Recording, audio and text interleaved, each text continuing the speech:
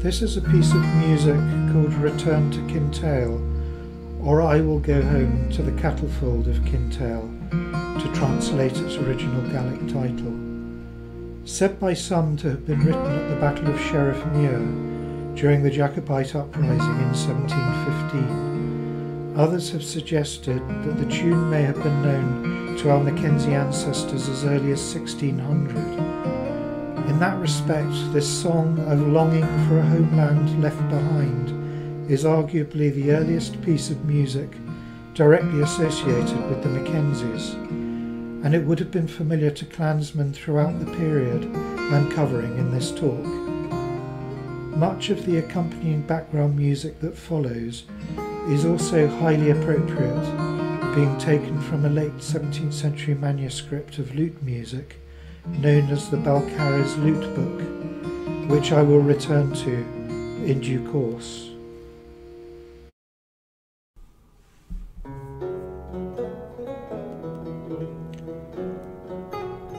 Since the Ceilidh is such a valued tradition for the Clan Mackenzie Society and something we've all missed in the last year, by way of compensation, I thought it would be interesting to paint a picture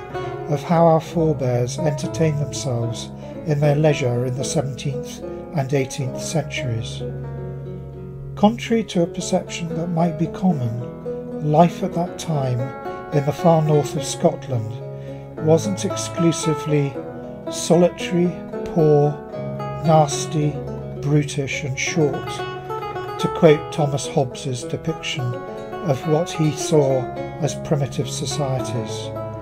Our ancestors undoubtedly appear to have known how to enjoy themselves.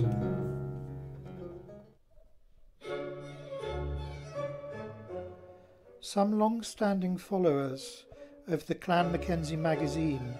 may have noticed that in a number of my writings I have been at pains to stress the cultural and intellectual achievements of the Mackenzies and besides the usual political and financial interests that we are so used to hearing about from historians, because these are our ancestors, our family, I feel that it's important for us to get a fuller insight into what added that further dimension to their lives that went beyond merely getting by, what would have made their lives fulfilling and rewarding for them. While I should stress that the more elite members of the family were obviously exceptions, someone like the last Earl of Seaforth was in the enviable position of being able to devote pretty much his entire life to the pursuit of pleasure, participating in the highest levels of European culture. An accomplished connoisseur unusually liberal for someone of his social status in his marriage to Harriet Powell, which challenged the conventions of his day. The actress is shown here in Catherine Read's portrait, holding a vial. He was a man who is admirable for his artistic and scientific patronage and appreciation of Roman antiquity in particular. He was evidently highly regarded by such contemporary luminaries as Sir Joseph Banks, Sir William Hamilton, and Captain James Cook, who were his devoted friends. This is him standing in the centre of Pietro Fabris's charming painting, with William Hamilton playing the violin on his left, and the Mozarts, father and son, on the harpsichord, which Seaforth himself played surrounded by his collection of contemporary art and Roman antiquities in his palazzo in the centre of Naples. He was also a patron of the Neapolitan composer Niccolo Jommelli, who appears seated on the right of Fabris's companion painting. The present and following pieces of music are from Jommelli's opera Armida Abbandonata, which Seaforth would have witnessed at the Teatro San Carlo in Naples from the time of their association in the early 1770s, and in parts of which I can't help detecting an influence on the later works of Mozart.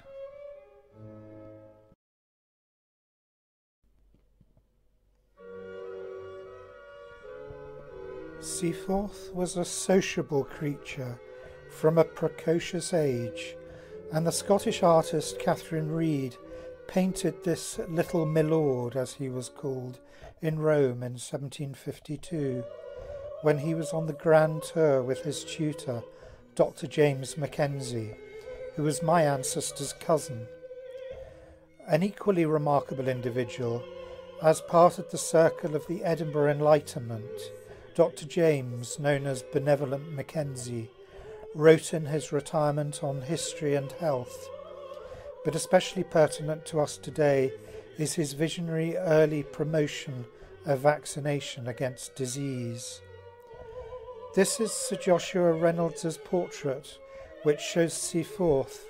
third from the left, as a member of the Society of Dilettanti,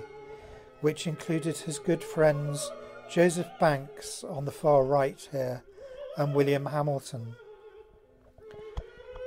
And this is another painting by Pietro Fabris, which I had the good fortune of handling in my capacity as an old master paintings specialist at Bonhams, and which shows both a concert party and boating party hosted by the gregarious Earl at the Villa Pavoncelli which is just outside Naples, and can be seen here on the left with its Mackenzie blue and gold awnings. Seaforth and Hamilton were both fascinated by volcanoes, and a steaming Vesuvius is shown in the background. Even for as illustrious and intellectually adventurous a family member as George Mackenzie, the first Earl of Cromarty, who was like the last Earl of Seaforth, a member of the Royal Society and enormously erudite. His true pleasures appear to have been the relatively simple ones of sociability and friendship, which I've always felt are easy to relate to. This can be gleaned from a letter written around 1703 from James, 2nd Duke of Queensberry, which he declared to have written to the Earl while playing at cards with Lord Renfrew. I just now received your letter, for which I give you, my dear Lord, a thousand thanks. I go from hence tomorrow, about ten in the forenoon, and I should be very glad to see you before I went, if that could be done without giving you trouble or jealousy to others. My coach is at your command, and the bearer will attend you. If you'll come here tonight, you shall have a little broth a glass of good wine, and half an hour's laughing. Shortly before his death, Cromarty remarked to the Earl of North Esk on the value he put on such friendships. It is now very near to eight years since that fellow, ordinarily called Good Luck, did with a severe grip shake hands with me, and I think never to meet until the rendezvous at the Valley of Jehoshaphat, where I hope to meet with good friends and good company.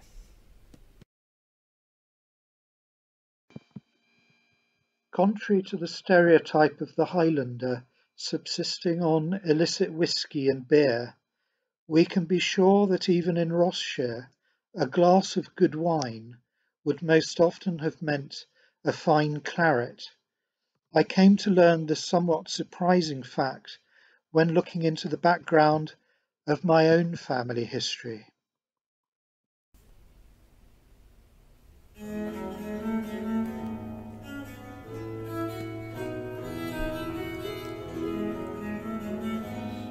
Donald Macaulay,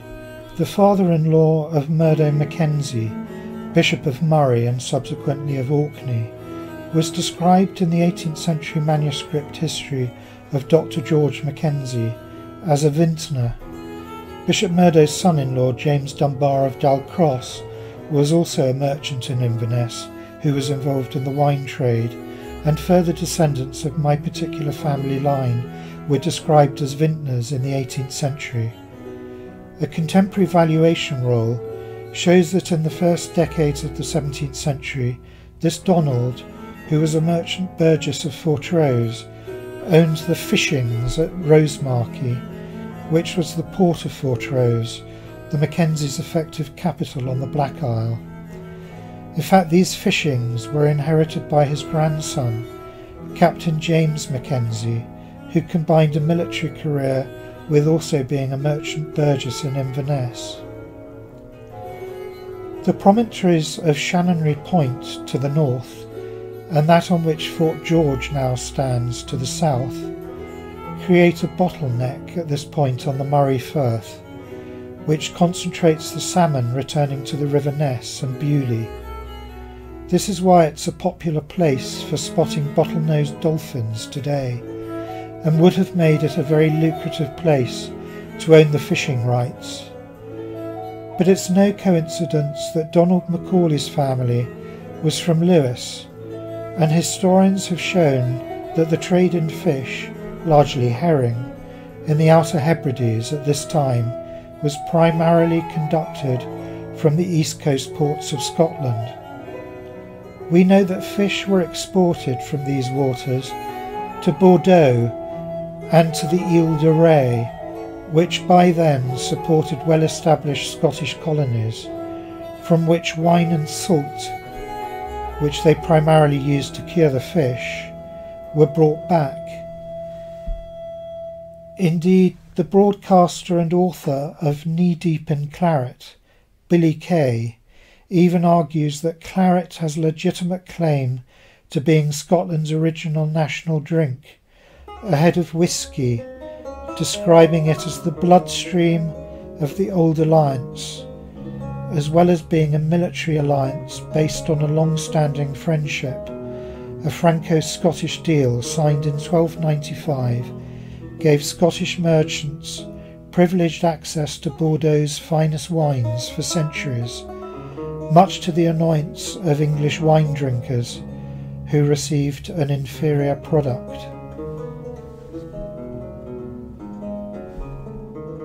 Of course, wine was a highly politicised commodity. While their Hanoverian opponents favoured port, claret was the drink with which a Jacobite Mackenzie would toast the king over the water. Fish was also the most significant import in the Tuscan port of Livorno. In 1675, another one of Donald Macaulay's grandsons, who was an Inverness merchant burgess, my direct ancestor, Donald Mackenzie, was petitioning to raise funds to pay for the ransom of his son, William, who had been captured by Algerian pirates off the coast of Leghorn, as the Tuscan port of Livorno was known to the Scots and English at that time. No doubt William would have been following in the family tradition by trading fish from the Atlantic and North Sea, as well as other commodities such as cloth from his father's business, in exchange for Tuscan wines and quite possibly also some of the more exotic goods,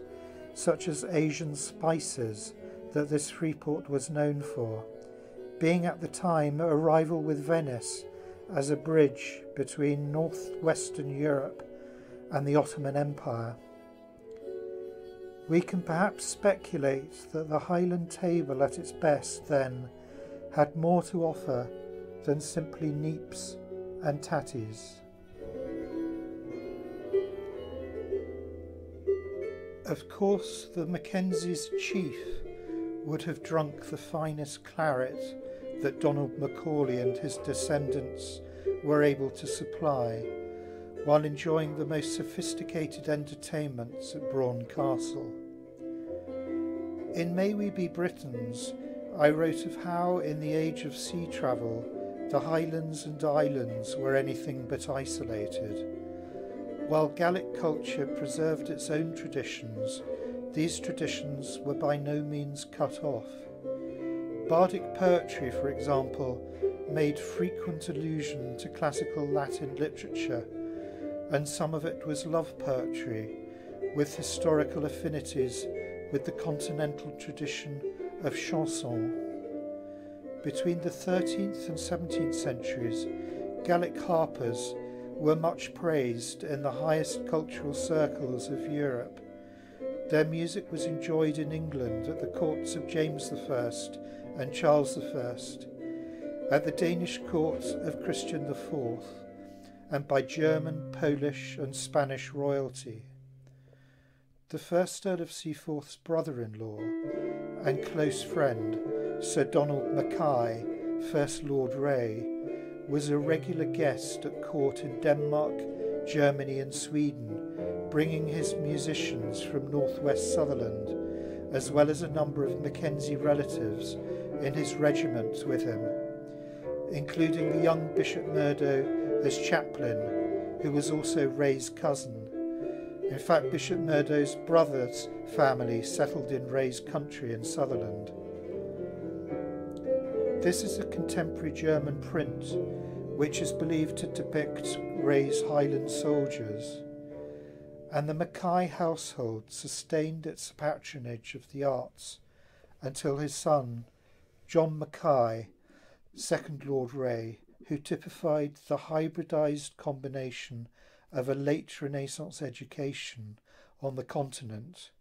with a native Gaelic culture. The Mackays continued their connection with the Mackenzies as hereditary pipers to the Mackenzies of Gairloch. Indeed, it might be noted that as late as the early 18th century,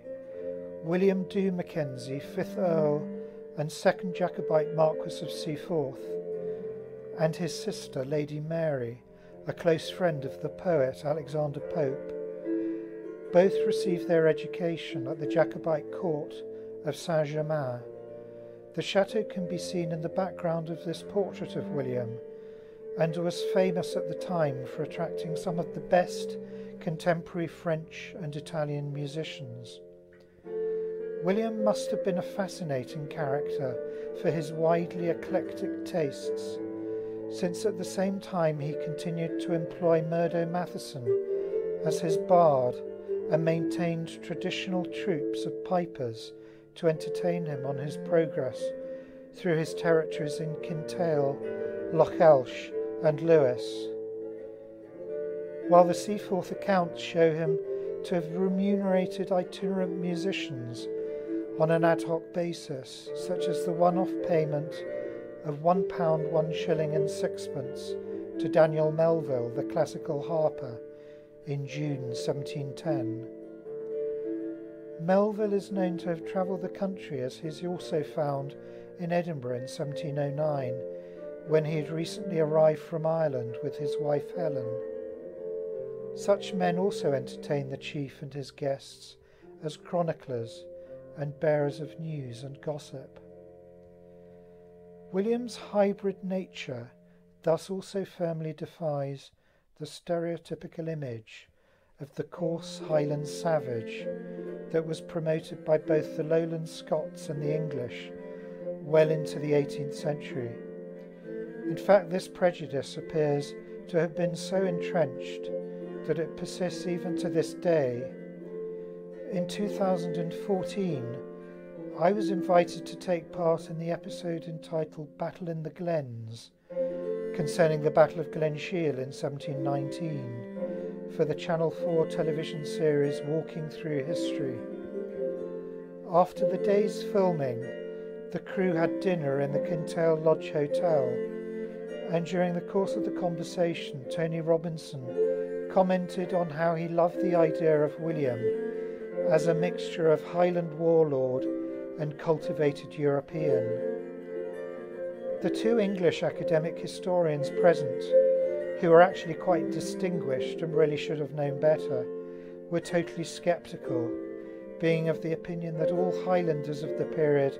were without exception uneducated barbarians. In this regard, one should note what has been said of Roderick Morrison, the blind harper of Dunvegan, who died in 1714 and whose close Mackenzie relatives included his mother, foster brother, and sister in law. Although he's been dubbed Gaelic Scotland's last minstrel, recent musicologists have recognized that his role was more as a gentleman musician who should have been regarded also as representative of the cosmopolitan drawing room music of the period, cultivated by the upper ranks of society throughout Europe.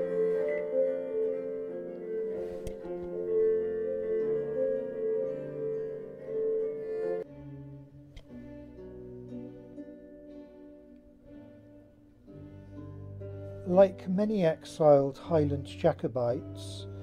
William Dhu and his sister Lady Mary Mackenzie's musical education at Saint Germain would have been remarkably advanced. For there King James and his Modenese wife had established an important centre of Italian music. They had a decisive influence on the development of musical taste by helping to introduce and popularize Italian styles in France. In fact, John Caryll I, the uncle of Lady Mary's future husband, was himself a viol player, and having previously been the king's ambassador in Rome, he was responsible for recruiting Innocenzo Fede as master of James's music and went on to be instrumental in organising concerts at his court in exile.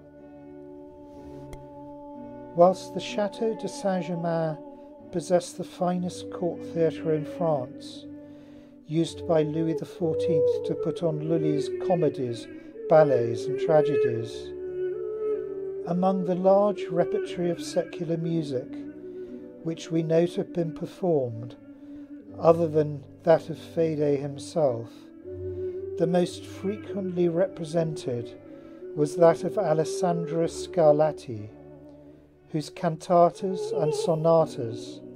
had a crucial influence on the development of French music. This is a particularly breathtaking piece of Scarlatti's music from his Giuditta.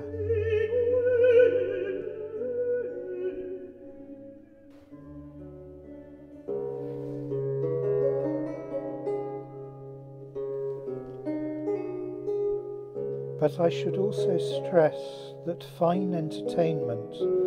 was not the preserve of the aristocracy in the Highlands, since it would have been shared with his clansmen by a good laird who prided himself on hospitality, as indeed would the likes of Bishop Murdo, who was, and I quote, a most worthy bishop and greatly loved for his hospitality. Notable occasions for the special display of such sociableness would have taken place in the great hall of the Earl's Palace, which was the Bishop's residence in Kirkwall, seen here in its ruined form today. But this is a reconstruction of the Great Hall in the heyday of the Earls of Orkney, who were Murdo's immediate predecessors in occupying the palace. One such occasion would have been on the 4th of April 1678, when George Balfour of Faray married Murdo's second daughter Marjorie, and again on the 15th of May in the same year, when John Kennedy of Kermonks married Jean, his eldest daughter. And one suspects that the bishop himself would have enjoyed those occasions, especially since there was a long standing tradition that when he first landed on Orkney at Scapa, and as tradition dictated, the ancient chalice, known as the bishop's cup, was handed to him filled with strong ale. He drained it in one go and asked for more. This was deemed a good omen and he certainly went on to be an especially popular bishop.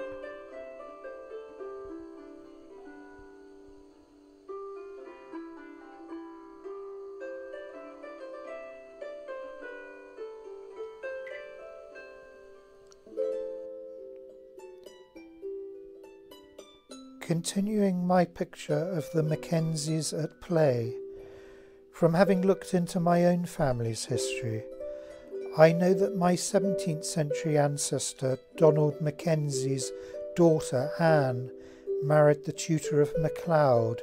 John MacLeod of Contulich and Muiravenside.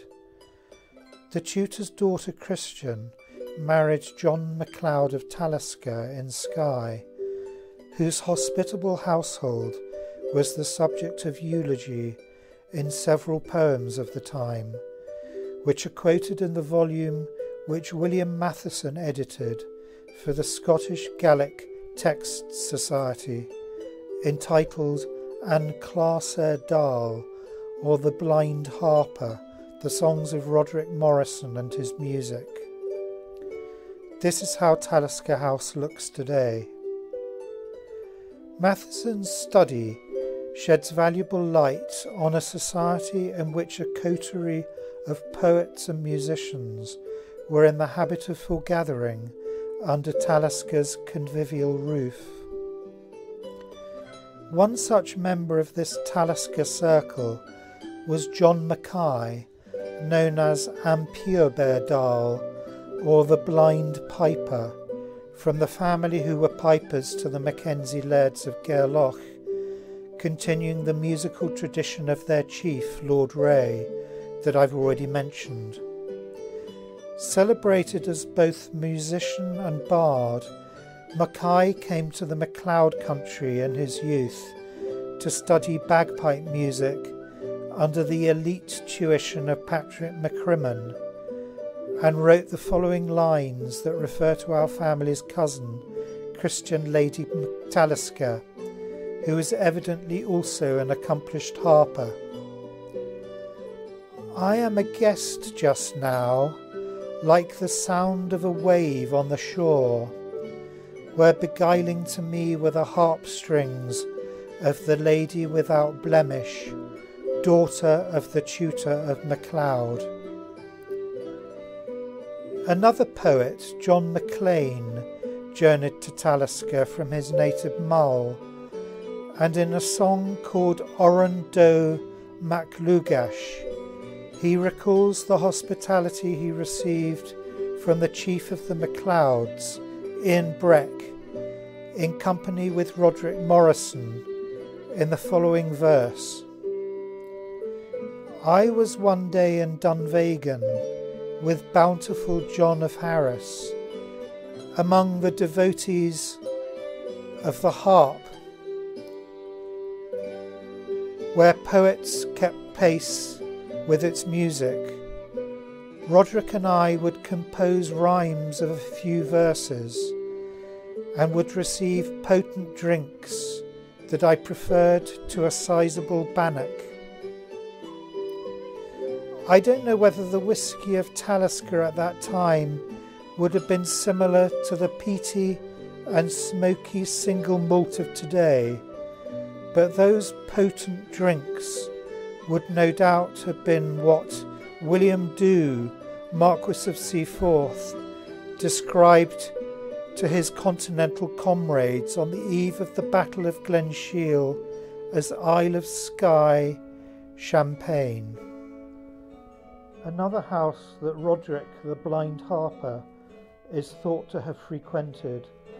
was that of another close cousin of my ancestors, Mackenzie of Coul,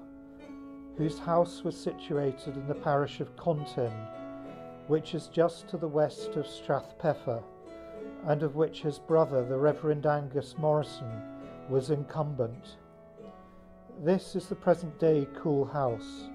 rebuilt at the end of the 18th century and now a hotel. Angus was married to Mackenzie of Coul's cousin, Anne, and a song connected with a girl of this household runs as follows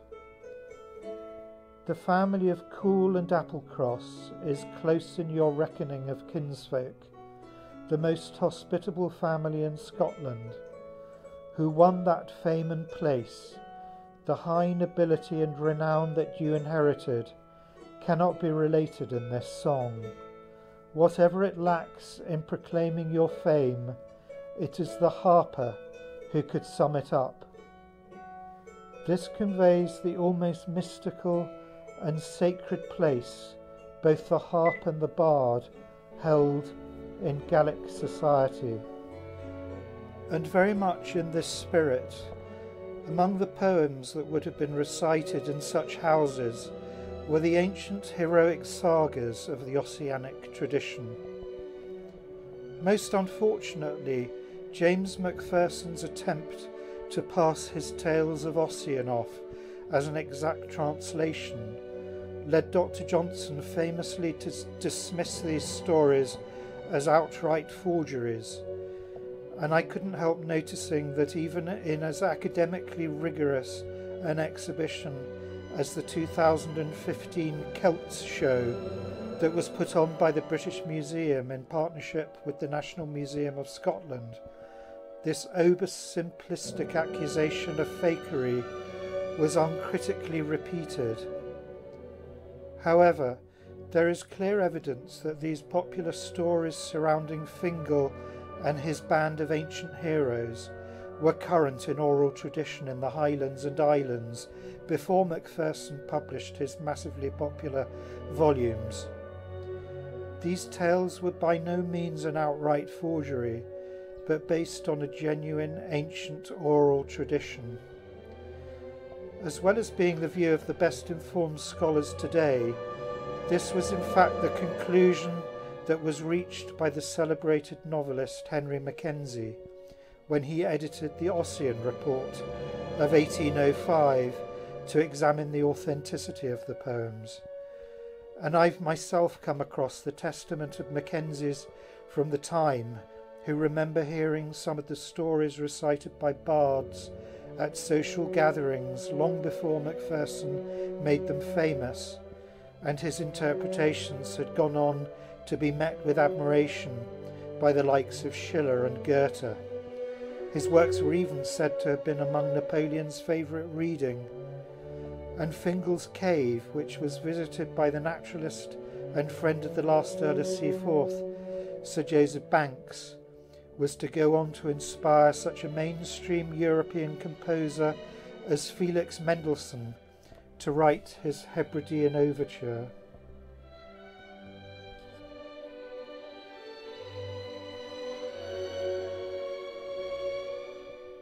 Although unfortunately less documented, we know that the local inn or Ceilidh house would also have been on the itinerary of a number of these celebrated bards and musicians. And here the more ordinary clansmen would have warmed themselves beside peat fires and met their friends, neighbours, and cousins to exchange news and gossip, and would have been transported from the drudgery of their daily hardships, taking pleasure in the entertainment of such skilled artists as Am Pìobaire Dall and An Clàrsair Dall, as they shared their treasured stories and songs. In the words of Donald A. Mackenzie, writing even at the beginning of the last century in his Wonder Tales from Scottish Myth and Legend, on long dark winter nights, it is still the custom in small villages for friends to collect in a house and hold what they call a ceilidh, Young and old are entertained by the reciters of old poems and legendary stories which deal with ancient beliefs, the doings of traditional heroes and heroines, and so on. Some sing old and new songs set to old music, or new music composed in the manner of the old. So we see that after the Reformation, the secular popular tradition of music continued to flourish by popular demand, despite attempts by the Kirk, particularly in the lowlands, to suppress dancing and the playing of music at events like weddings. What is more, the Highlands in the early 17th century saw the development of piping families, including the MacCrimmons, MacArthurs, MacGregors, and the Mackays of Gairloch who I've mentioned. There is also evidence of the adoption of the fiddle in this region, with Martin Martin noting in 1703 in his description of the Western Isles of Scotland that he knew of 18 players in Lewis alone.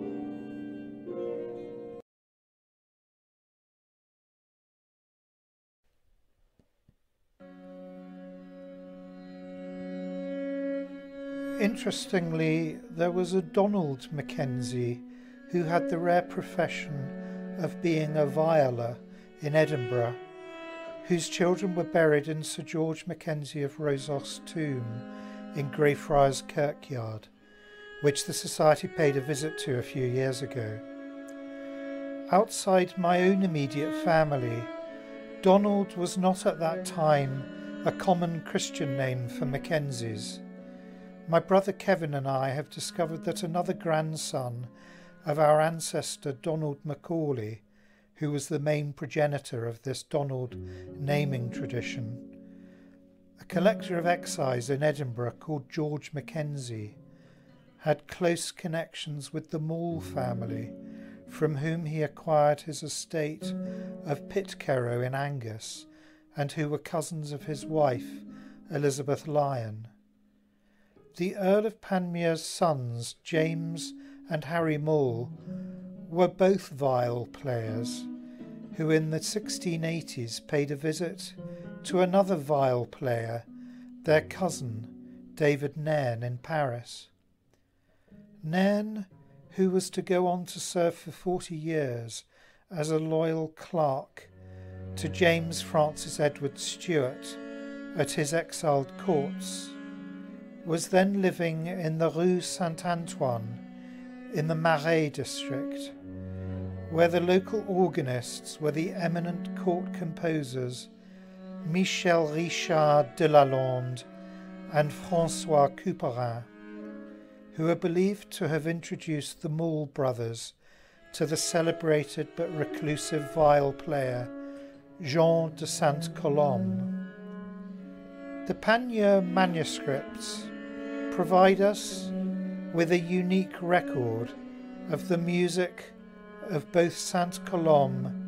and his pupil Marin Marais, none of which was actually published at the time and only became known to the wider world in 1973. The impact of their subsequent fame resulting in the acclaimed 1991 film in fact, one of my favourite films of all time, Tous les matins du monde, in which Gérard Depardieu played Marin Marais.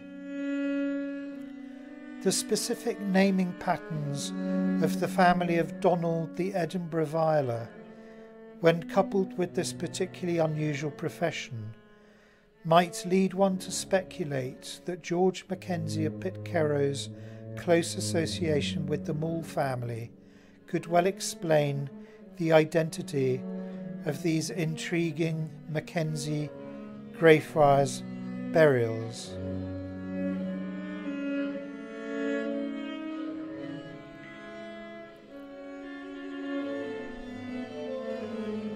In 2004, a manuscript dating from 1716 that was discovered in the archives of Berkeley Castle was authenticated to be six fully scored and hitherto unpublished arias from Vivaldi's opera La Costanza Trionfante. The plot of this opera is concerned with dethroning usurpers and restoring lawful kings, and the Jacobite historian Edward Corp has convincingly argued that it was most likely copied for the second Marquis of Seaforth's cousin and self styled Mackenzie Bairn, the Duke of Mar, in order to be performed at the Jacobite court, which at that time was based in Urbino. Being aware that as descendants of the last Earl of Seaforth's daughter, Lady Caroline Mackenzie, the Berkeley family inherited much of Seaforth's art collection, it occurred to me that this would be a likely explanation for this manuscript's presence at Berkeley Castle. and having renewed my old correspondence with Edward Corp, we have between us established that these important musical manuscripts were most likely brought back from Urbino by James Maule, who had then succeeded as fourth Earl of Panmure and was the Duke of Mar's nephew, and that the scores were then given to Lord Seaforth when these two men were both living in Paris in the 1720s, and when Seaforth was intriguingly given the Rue Saint Antoine as his address there.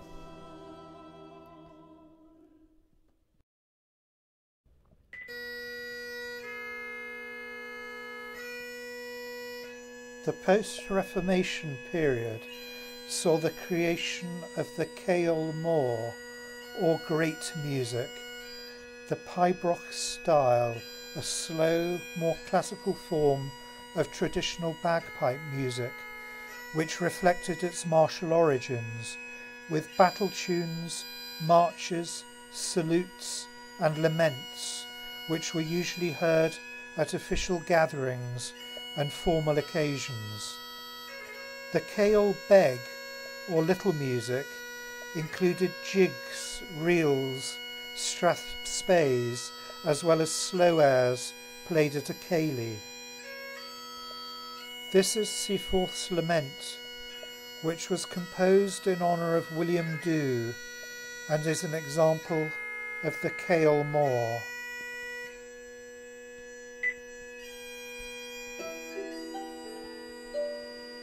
I Will Return to Kintail is popular today in bagpipe, harp, guitar, and violin recordings, but hundreds of years ago it was above all the harp or clarsach that was the important instrument played in the Scottish Highlands. Eventually, its place in society was taken by the bagpipes, but many tunes we now think of as pipe or fiddle tunes are thought to have begun as harp tunes. The function of the clarsach in a Hebridean lordship is illustrated in the songs of the 17th century poet Mary MacLeod, in which the chief is praised as one who is skilled in judging harp playing, as well as the theme and sense of a good story. The music of harp and pipe is shown in these poems to have been intrinsic to the splendour of the MacLeod court at Dunvegan, as depicted here, along with wine in shining cups. The significance of the harp to the Mackenzies can also be seen, for example, in the symbolism found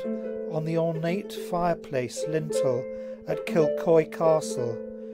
which bears the date 1679 and is carved with three Mackenzie coats of arms, along with the two mermaids playing harps, one at each end of the lintel. Kilcoy is part of a triangle comprising of Kilcoy on the east, Balvaird on the west, and Kinkell Castle at the apex in the north,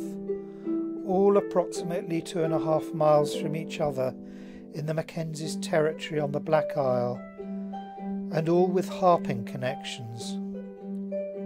Balvaird translates as the township of the Bard, and the Mackenzies of Gairloch's property at Kinkell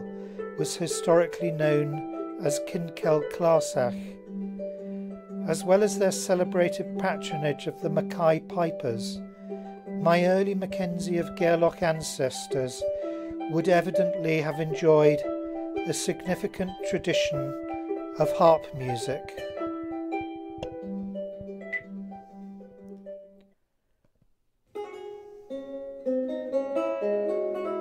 A considerable number of Scottish folk melodies, songs, and dances were also written for the lute. James IV, James V, and Mary Queen of Scots all played the lute, and to those of the noble classes who still adhered to the court's artistic ideals after James VI moved the court to London in 1603, lute music was a natural expression of their musical talents. The old alliance of Scotland and France was still strong during the 17th century, and many young Scotsmen were sent to France as part of their education. This was the great age of French lute music, and this explains the large amount of French lute music by the most celebrated masters, which are preserved in such manuscripts as the Rowallan Lute Book, the Straloch Lute Book, the Panmure Lute Book, the Lady Margaret Wemyss Lute Book, and the Balcarres Lute Book.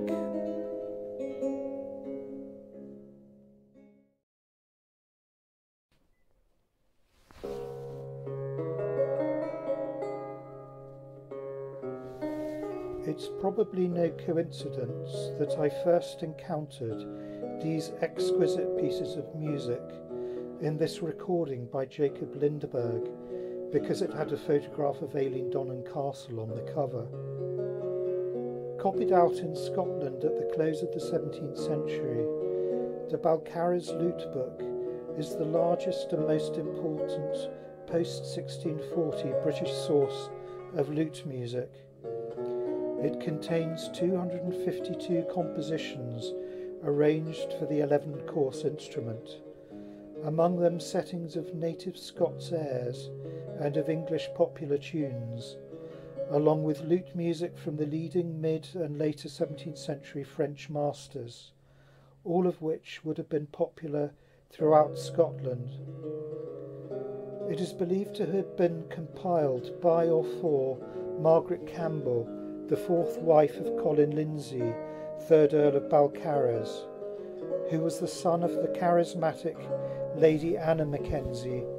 daughter of the 1st Earl of Seaforth. The burial of the viola Donald Mackenzie's children in the particularly grand tomb of Sir George Mackenzie suggests a close relationship to this nephew of the Earl of Seaforth and thus a relatively high status for such musicians. In fact, a number of the clan elite were themselves amateur musicians, as we have seen with Christian Lady Talisker. And both the families of Mackenzie of Gruinard and of Applecross boasted celebrated performers of the viol. This is the Mackenzie lairds of Gruinard's seat, Udrigle House. And this is Applecross House.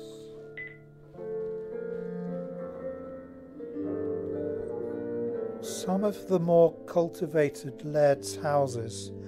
had a clarsach player in residence as well as a piper, although the latest research shows that many such musicians were itinerant and not necessarily tied to the Highlands and Islands, even. Another one of my direct ancestors, Rory Mackenzie of Applecross, who lived in the first half of the 17th century, and his son John, the second Laird of Applecross, enjoyed a reputation for generously rewarding visiting harpers, such as the Earl of Antrim's musical protege by purportedly filling one of the harper's hands with gold and the other with silver. The Scottish lute manuscripts are an invaluable record of the sort of eclectic music that may well have been the attempt of amateurs to write down tunes which they heard played on the harp, thus giving us a precious insight into the otherwise lost musical tradition that must have played an essential part in the lives of our Mackenzie ancestors, who would have enjoyed a rich musical diversity. This piece from the Balcarres Lute Book is a duet between a harper and a viola.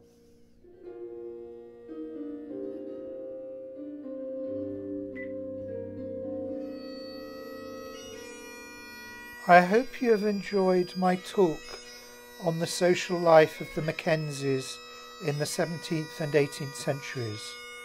which I believe illustrates the highly sophisticated, diverse, and cosmopolitan nature of Highland culture during this early modern period.